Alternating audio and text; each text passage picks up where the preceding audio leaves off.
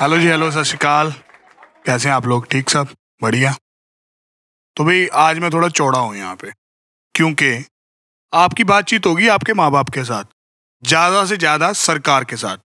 लेकिन आपको पता है मेरी बातचीत किसके साथ है? यानी गैस हाँ बिल्कुल ठीक। किसी किसी को दिखते हैं बहुत कम लोग हैं। मन्ना पायलट। आ, मैंने एक स्कीम लगा रहा था कि भगवान को बुलाऊं भगवान को बोलूँगा, भगवान, मुझे ना वो कटे सेब वाला एक बढ़िया वाला फ़ोन दे दे। चलो, करके देख लेते हैं। उसके बाद मैंने पहना चश्मा। भगवान प्रकट हुए। कह रहे हाँ जी, बोलो। मैं कह, सत श्रीकाल, कैसे हैं आप? कह रहे वेला नहीं हूँ।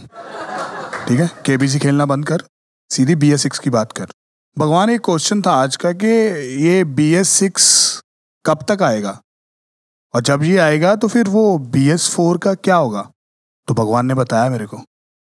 भगवान बोले, अप्रैल 2020 तक आ जाएगा। अच्छा तो मैंने जब सेकंड क्वेश्चन पूछा कि जब बी एस सिक्स आएगा बी एस फोर फिर मतलब अपन खरीद लेंगे ना? मालिक बेचेगा बी एस सिक्स लेगा, मैं उसे बी एस फोर ले लूँगा।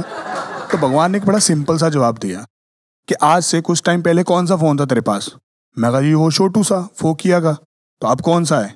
वो नया वाला जैमसंग 48 मेगापिक्सल और दो दो सिम इकट्ठी डलती है उसमें, और बैटरी भगवान क्या ही बताऊँ आपको। तो फिर भगवान ने पूछा, वो फोकिया क्यों नहीं यूज़ करते? मगर वो पुराना हो गया जी, टेक्नोलॉजी कहाँ पहुँच गई? तो भगवान ने बोला, क्यों? मिल गया ना जवाब। फ़ोन निकाल दे, ट्रक सोच। सही में। बात तो सही करी थी भगवान। और मेरी बात सुन, ये जो फ़ोन फ़ोन लेने हैं ना, ये मैं नहीं दिलाता हूँ, ये मेहनत दिलाती है। मेहनत कर, फ़ोन मिलेगा।